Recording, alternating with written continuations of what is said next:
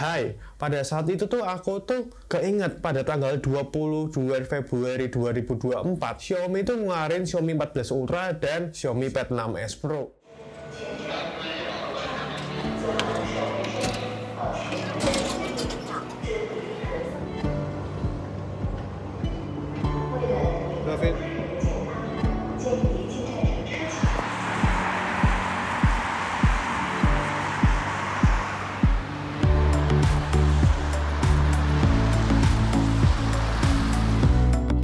Masuk di Xiaomi Store Chongqing, aku langsung disambut oleh bukan staffnya ya, tapi masnya aku disambut langsung oleh handphonenya. Jadi kayak Xiaomi 14 Ultra ini benar-benar terpampang di depan mallnya persis dipajang gitu, bukan mallnya juga sih. Di depan store-nya Xiaomi-nya langsung kayak dipajang gitu, kayak ingin membuktikan bahwa ini loh monster barunya milik Xiaomi, yaitu Xiaomi 14 Ultra itu. Yang pertama, tentu saja dia sudah menggunakan layarnya OLED. Bikinan TCL versi C8 dengan bentang 6 6,73 inci yang bisa terbilang cukup lumayan besar nih. Tapi sudah memiliki refresh rate sebesar 120 Hz ya ini 120 Hz ini benar-benar udah umum banget di tahun 2024 dan untuk proteksi dari Xiaomi 14 Ultra ini yang aku tahu ya dia sudah menggunakan Xiaomi Longjing Glass. apa? Sih Xiaomi Longjing Glass itu ini tuh sebenarnya kayak Corning Gorilla Glass tapi ini Xiaomi Longjing Glass ini dibuat oleh Xiaomi sendiri. Jadi mungkin pertahanannya mungkin lebih kuat lebih kokoh. Desain dari Xiaomi 14 Ultra ini terbilang cukup menarik karena dari keempat sisinya ya dia memiliki layar curve. Tapi curve-nya di sini itu tidak yang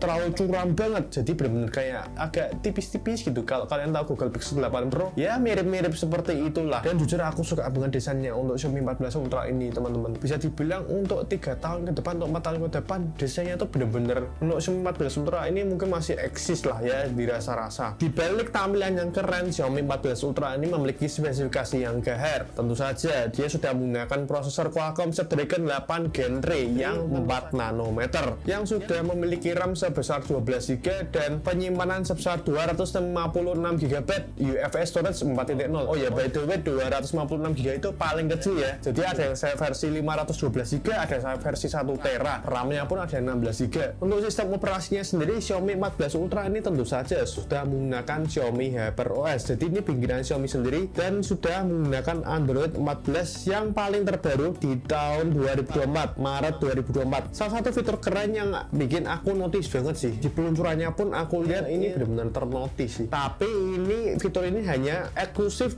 masih di Cina saja. Ya apa itu tuh satellite communication jadi kegunaannya adalah jika di keadaan darurat atau kalian ada di daerah terpencil yang ada di China sini ya kalian bisa menggunakan handphonenya tanpa harus mencari-cari sinyal menggunakan satelit pun sudah bisa ngomong-ngomong ini masih eksklusif di Cina saja. Untuk versi globalnya pun belum ada fitur to satellite communication ini. Oke, langsung deh kita ngomongin soal kamera. Kamera Xiaomi 14 Ultra ini memiliki konfigurasi 4 kamera. Yang untuk lensa ultra wide angle, kemudian ada telefoto 3,2 kali, ada lensa periskop 5 kali. Dia menggunakan sensor Sony IMX858 dan untuk lensa wide-nya sendiri ia menggunakan sensor Sony LYT 900 yang diomong-omong kayaknya ya itu lega Hunter kayaknya kayak gitu ya. Ia memiliki sensor sebesar 1 inci yang notabene-nya sama kayak 13 Ultra dulu ya Sony IMX 989 sama-sama 1 inci. Kemampuan merekam video 4K dan 8K nya di semua lensa. Buat lensa wide-nya sendiri ia bisa sampai di 4K 120 fps ini benar-benar membuat Xiaomi 14 Ultra menjadi pilihan yang top buat bikin video menggunakan handphone saja. Kamera depannya yaitu di 32 megapiksel yang walaupun nggak punya fitur autofocus tapi aku bisa bilang nih ya sudah mendingan lah ya bisa di 4K 60 fps untuk merekamannya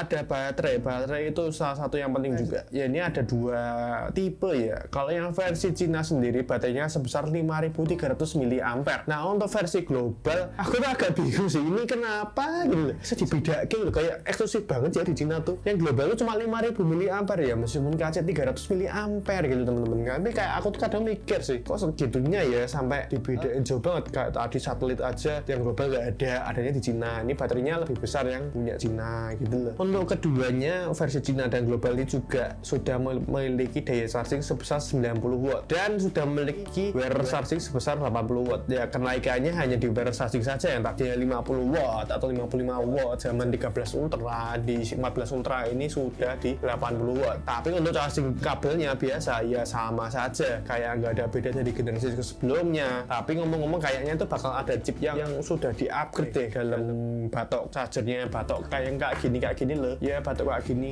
Itu udah di ada chipnya terus dalam handphonenya juga ada chipnya untuk ya biar ngecasnya lebih bagus. Berikutnya soal harga. Jujur aja nih Xiaomi 14 Ultra ini harganya bisa dibilang cukup sudah naik-naik banget. Dimulai dari RAM 12 memori 256 GB memiliki harga di 6.499 yuan atau 14,1 juta. Nah kalau kalian mau nambah shutter fotografi kit ada. Xiaomi 14 Ultra ini bahkan sudah dimodifikasi lebih baru lagi ketimbang 13 Ultra dulu. Ya harganya masih sama sih kayak yang dulu yaitu di 999 yuan. Ya kurang lebih 2,1 jutaan. Nah untuk produk kedua kita langsung saja untuk melihat tayangan vlog kali ini. Ya ya ya vlog kali ini. Ya ada ini ada vlognya juga.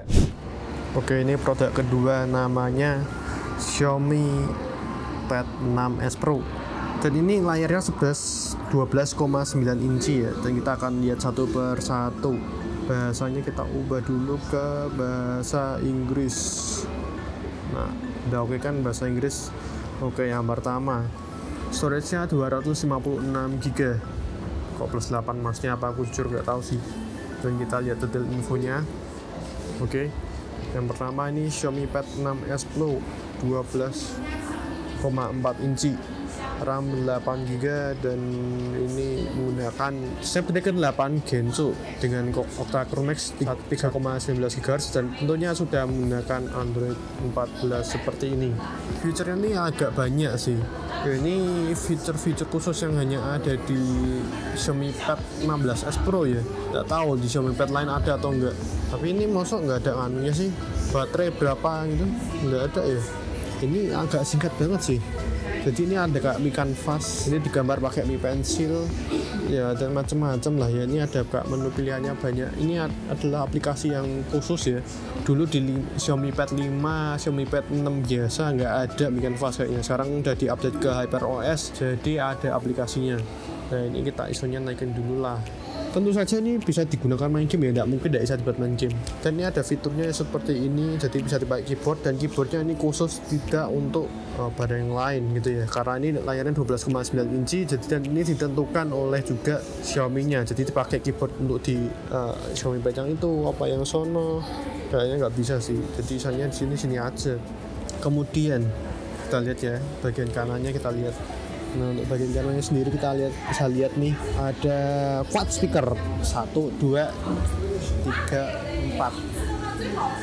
Nah di sini ada tombol power off-nya untuk nyalain dan di atas ini ada volume up, volume down dan di sini ada kameranya nih. Ya kan ada kameranya kalau kalian bisa lihat. Di sini tuh juga ada quad speakernya dan ini sudah menggunakan USB Type C dan chargingnya kalau nggak salah di berapa nih? Coba kita lihat compare. Ya ini lengkap ini malahan. Kalian bisa lihat nih di sini menggunakan Snapdragon 8 Gen 2 ya, bener ya. Ini Nah, baterainya ternyata 10.000 mAh ya. Dan chargernya sudah menggunakan 120 watt. Nih layarnya 12,4 inci di resolusi 3048 kali 2032 inci. LCD 144 Hz ya, tersertifikasi oleh The Friendland. Nah, ini kameranya menggunakan 32 megapiksel menggunakan sensor OVN 32D jadi Omnivision ini. Dan 50 megapiksel juga 2 megapiksel untuk mungkin makro lah atau depth. Dan ini sudah support USB 3.2 generasi pertama sudah menggunakan Wi-Fi 7 5G Wi-Fi ya kita coba lihat kameranya sekarang. Oke punya ya? Kalau kalian bisa lihat nih? Oke punya